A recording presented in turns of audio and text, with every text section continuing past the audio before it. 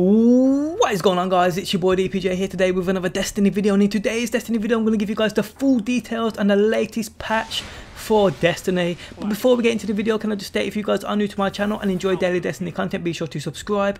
And if you could help this video out with a like, I do appreciate the support. Including in this latest update, we do get long awaited buffs to the exotic weapons, the Bad Juju and Thorn, and many other badass things. Now, I'm going to re read you guys through the whole statement, but if you guys want to check it out for yourselves, uh, I will link it in the video description also. Uh, but getting into it, uh, this is basically what they stated. Today's patch includes a long arrival of exotic weapon buffs, additional acquisition paths for destination upgrade materials, along with additional changes to exotic gear node upgrading in preparation for the soon to be released expansion, The Dark Below.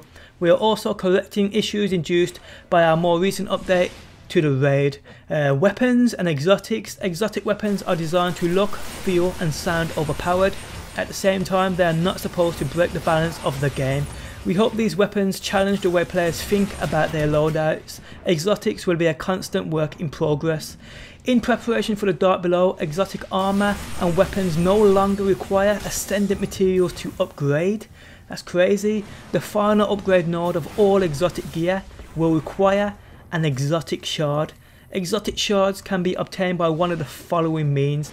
Dismantling unwanted exotics, or purchase from Xur costing 7 strange coins. Exotics now start at a higher base attack value and have a narrowed upgrade range to compensate. The Thorn, projectiles now briefly highlight targets on impact. Mark of the Devourer DOT damage over time, upgrade increased against PvE enemy targets. Reload speed increased, magazine size increased, ammo inventory size increased, stability and weapon handling increased. The Thorn is going to be a beast. I'm so glad I kept mine. Uh, Bad Juju, magazine uh, size increased to 8 bursts, was 5 bursts. Uh, ammo inventory size increased. String of Curses now also decreases the cooldown of your super on kill. Badass adjusted effects to not block first person reticle. You know, it had all that green smoke uh, oozing off the front. A lot of people complained about how that blocked the reticle. That's been fixed. Now the hard light exotic, uh, stability increased, perfect balance upgrade replaced by fitted stock, increases maximum possibility weapon stability, uh, regime, lowered total damage at end of the mag on Suros Regime upgrade to be more in line with the glass half full perk on legendary auto rifles, now the Monte Carlo, and at the moment this is a PS4 only weapon. Stability has been increased, range slightly decreased. Monte Carlo method upgrade now has the chance to fully charge melee ability on kill. The medium multi-tool, meter rounds now have increased knockback against targets in both PvE and PvP. The Hawk Moon, which is also a PS4 weapon only at the moment. Send It upgrade, which was redundant, replaced by speed reload. Red Death, uh, rate of fire increased slightly, but burst damage reduced to compensate.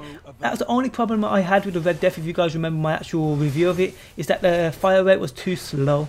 Uh, plan C, weapon handling speed increased, player speed increased while Plan C is in hand, badass. Pocket Infinity, speed reload upgrade replaced by extended clip which allows the option to increase magazine size to 5 bursts, badass.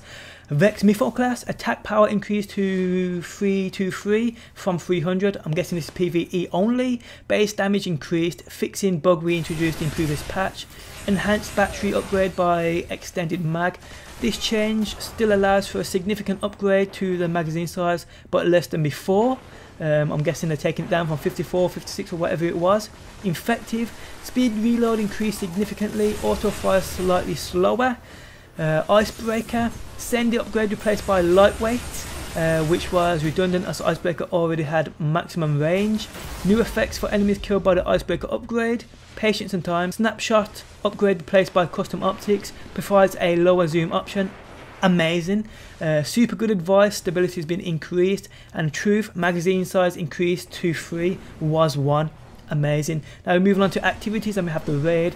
Fixed an issue reintroduced in a previous patch in which Atheon did not correctly send free players through their time gates. Fixed an exploit where the Templar could be forced off its platform. Uh, the Daily Heroic story. Destination materials now drop from completing the Daily Heroic. Amazing. I'm guessing if you're doing a daily heroic on Venus, you'll get blooms. On Cosmodrome, you'll get spin metal and so forth. Bounties, remove the relic hunter bounty. Destination materials now drop from completing a daily patrol bounty. That's pretty badass too. Now the vendors, Reduced Cryptarch reputation gain from engrams, but reputation reward packages now have an increased chance for legendary engrams, that's quite good. Players will now be able to use Vanguard marks and Crucible marks to purchase Spin Metal, Relic Iron, Spirit Bloom and Helium Filaments from the Vanguard and Crucible Quartermasters in the tower, that's pretty badass also. Xur, the Agent of the Nine, now sells a new material, exotic shards to upgrade the final node of exotics costing 7 strange coins. Faction class items are now replaced by faction emblems in the rank up reward packages from faction vendors. Uh, so basically when you ranked up your dead orbit so to speak, in the package you'll get from the postmaster there's a good chance there'll be a class item. Uh, that has been replaced now by an emblem. And the final part of this actual update is just technical networking fixes which should reduce the instance of the B family of TKOS fix an issue in which Xbox One Party Chat reduced a slower frame rate. Been waiting for that bad boy and a lot of people have been too. But guys, that is it. That's what we are getting in this latest patch, which should have been dropped by now for everybody. Uh, can't wait to try the bad juju and the Thorn. It's going to be amazing. Hope you enjoyed the video. Do drop a like. Tell me your opinions on everything in this video if you can. Like I said, the full statement is in the video description as well if you want to check it out. But thanks for stopping by and peace out until next time. Peace! Available.